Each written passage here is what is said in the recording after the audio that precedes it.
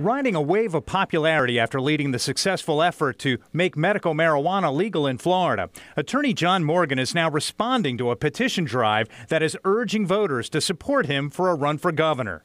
Thursday morning, he tweeted his appreciation, then listed the things he believes. He thinks marijuana should be decriminalized. Inmates serving time for drug convictions should be released. The minimum wage should be raised to $15 an hour. And he thinks a governor should serve just one term.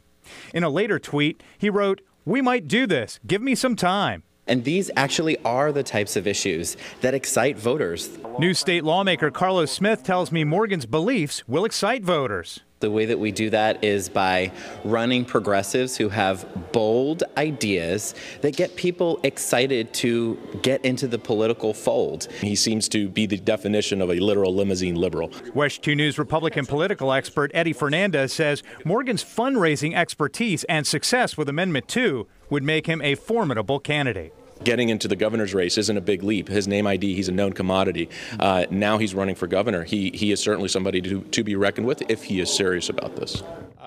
According to the organizers of the website, forthegovernor.com, more than 2,500 people have signed the petition in the first four days, and another 1,000 people have responded through social media. Angela? All right, Greg.